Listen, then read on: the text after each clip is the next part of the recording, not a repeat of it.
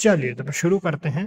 तो फिर अभी अपन डिस्कस करने वाले हैं गॉडफ्री फिलिप्स इंडिया लिमिटेड को। काफ़ी पॉपुलर कंपनी है ये। करंट प्राइस चल रही है five thousand two hundred eleven rupees की।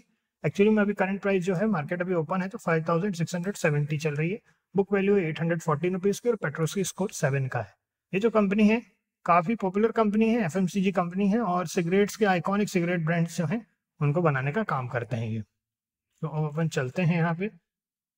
एनालिसिस पे चलते हैं। यहाँ देखते हैं तो नेट प्रॉफिट यहाँ लगातार प्रॉफिट में है कंपनी 229 करोड़ का प्रॉफिट है, उसके पहले 215 करोड़ का प्रॉफिट है उसके लिए 212 उसके पहले 202 तो लगातार कंपनी प्रॉफिट में भी है। और अब पी एन एल स्टेटमेंट की बात करें क्वार्टरली रिज़ल्ट के बाद पी एन एल स्टेटमेंट देख रहे हैं तो एट एट्टी फोर करोड़ का यहाँ पे ओवरऑल प्रॉफिट है, उसके पहले सिक्स नाइन्टी करोड़ का तो ग्रेजुअल इंक्रीज भी है प्रॉफिट में। तो ये भी अच्छा है। कैश फ्लो की अगर अपन बात करें तो माइनस फोर करोड़ का नेगेटिव कैश फ्लो है।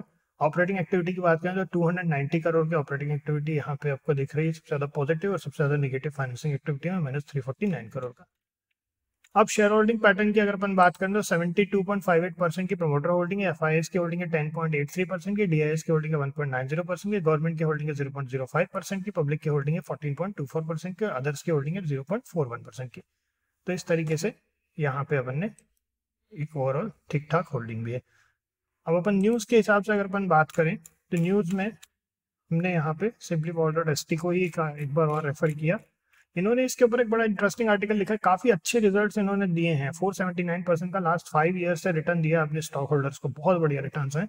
अब अगर अपन बात करें तो ओवरऑल इनका ये कहना है कि ये अभी भी इसमें कुछ मोमेंटम बाकी है, जो कि हमने आज भी नोटिस किया। हमने एक्चुअली में लेवल्स जो थे, वो पहले यहाँ पे कहीं तय हुए थे। लेकिन फिर उसके बाद जैसे ही मार्केट ओपन हुआ, थोड़ी देर बाद चलने के बाद, जब अभी हमने यहाँ दस चौदह हुआ है, तब, जब तक हमने बनाया, तब तक लेवल्स भी ब्रेक हो गए थे। तो ये एक अच्छा साइन अपन कह सकते हैं।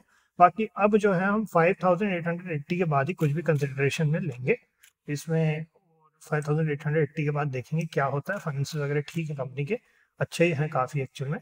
बट देखते हैं, चलिए क्या होता है five thousand eight hundred eighty ना चूँकि ये सिगरेट बनाने की कंपनी है मॉरली हम पर्सनली ये सब चीज़ों को पसंद नहीं करते तो हो सकता है कि हम इसमें कोई प्लान इन्वेस्टमेंट प्लान करें भी नहीं, है ना? ये हमने इसलिए बता दिया कि कुछ पर्टिकुलर प्रोडक्ट्स हैं जिनमें हमको हमको ठीक नहीं लगता, हमारी कॉन्शियस अलाउ नहीं करती है, बाकी अगर आप लोगों को इसमें इन्वेस्ट करना है तो अच्छी कंपनी है ये अपना और बाकी हमेशा की तरह अपना एनालिसिस किया बगैर कोई इन्वेस्टमेंट नहीं, और अगर आप लोगों को अच्छे से एनालिसिस करना सीखना है तो आप हमारे एडमिशन भी ले सकते हैं और बहुत बढ़िया सीख भी सकते हैं और हम इसका डिटेल एनालिसिस वहाँ पे भी करेंगे। क्लासेस में। और ओवरऑल बाकी हमेशा की तरह अपनी पोजिशन साइजिंग का ध्यान रखना है स्टॉप लॉस का ध्यान रखना है। तो इसमें बस इतना ही है फिर। नेक्स्ट में मिलते हैं आप लोगों से। ओके